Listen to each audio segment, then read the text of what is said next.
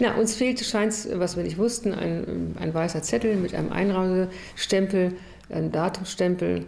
Und wir gingen davon aus, wir haben irgendwie nichts falsch gemacht, aber man kann es ja vielleicht jetzt noch, wir waren am Flughafen ja in Antalya, das einfach noch nachträglich irgendwie bekommen. Dann ging es zur erkennungsdienstlichen Behandlung. Und von dort aus äh, brachte man uns dann in diesen, äh, in diesen Abschiebeknast. Die nachfolgenden erkennungsdienstlichen Maßnahmen in Form von Abnahme der Fingerabdrücken, Erstellung von Lichtbildern und die Verbringung in ein Gefängnis scheint wohl hier doch unverhältnismäßig zu sein. Eigentlich äh, würden wir gerne, dass sich die türkische Seite entschuldigt. Entspannt, glücklich. Ja, das stimmt. Ja, das ist weniger jetzt. Das ist weniger entspannt. Der Knast ja. in Antalya. Das ist noch hier. Das sieht aus wie James Dean, siehst du? Ein bisschen, ja. Giorgio Armani. Ja. Aha. Ja. Das hast das, du gar nicht gemerkt, als ich das auch Nee, das stimmt. Das war, als wir da bei, diesem, bei dieser alten System. Ja, so, genau, ja, genau. Aber das war auch sehr lecker da. Was haben wir da nochmal gegessen? Ja.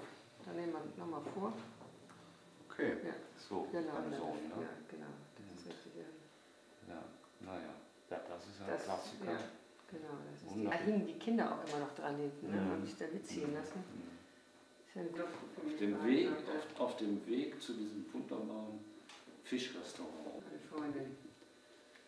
Ich muss nochmal genau. Handy.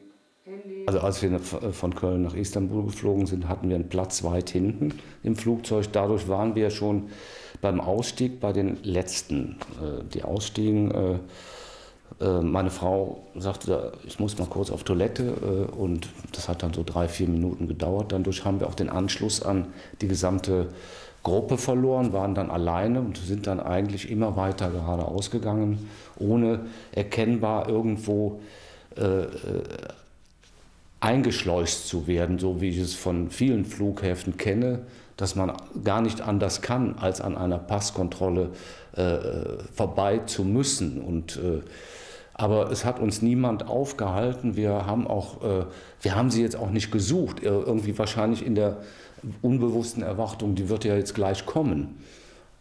Zum guten Schluss waren wir am Gepäckband. Und unser Koffer kam und wir haben den Flughafen verlassen und sind mit dem Bus nach Istanbul äh, gefahren. Ur der Urlaub war wunderschön in Istanbul, äh, ist einfach eine ganz, ganz tolle Stadt und da möchte ich auch gerne wieder hin und jetzt darf ich nicht mehr. Wir hatten ja, wie gesagt, diesen weißen Zettel nicht, haben uns bei der Polizei gemeldet und angenommen, dass man das nachträglich äh, ausstellen kann. Nachweislich unsere Flugtickets, ich hatte die auch dabei, ausgedruckt, den Flugplan.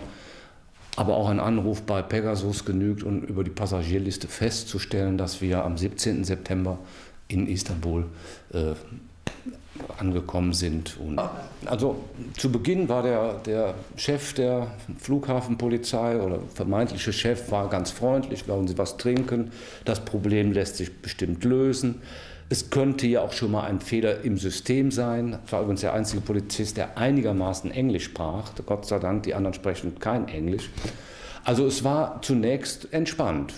Dann kamen wir am nächsten Tag pünktlich um 12 Uhr zurück zur Flughafenpolizei und dachten, das wäre jetzt, läge jetzt vor, dieser weiße Zettel oder irgendein Dokument.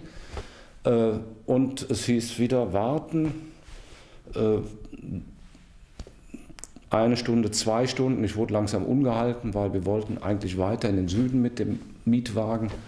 Und äh, dann etwa um 3 Uhr hieß es, man warte auf ein Fax aus Ankara. Etwa um 4 war das dann da. Dann ging man wieder zur Beratung, wieder. Wir wussten eigentlich nie genau, was machen die so lange. Und nach um 17 Uhr etwa hieß es dann, uh, that's the law, das ist das Gesetz. Und wir sollten in einen anderen Raum gehen. Und plötzlich war, auch, war keiner mehr freundlich. Denn eigentlich, glaube ich, war in dem Moment klar, jetzt galten wir als überführt. Aber uns als Kriminelle hinzustellen, uns in den Knast zu stecken, das ist schon ein starkes Stück.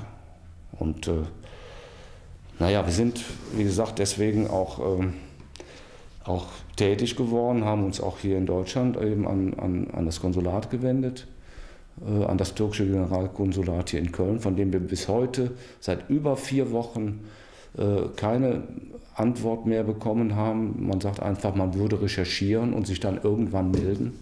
Man würde versuchen, Informationen zu bekommen. Also das, die Formulierung ist schon, ist schon witzig. Dann ging es zur erkennungsdienstlichen Behandlung. Fingerabdrücke sämtlicher Finger, Foto, also so, so, äh, so Fotos gemacht, zu einer Nummer vorne halten, von vorne, von der Seite, von links, von rechts. Also so, sag ich mal, wie ich so aus, aus schlechten Filmen kenne. Äh, äh, ja, und von dort aus äh, brachte man uns dann äh, in, diesen, äh, in diesen Abschiebeknast der Ausländerpolizei. Das war, ja, und nackte Matratze, nacktes Kopfkissen kein Toilettenpapier, spartanisch, einfach alles, äh, ja, oh, also kein Vergnügen.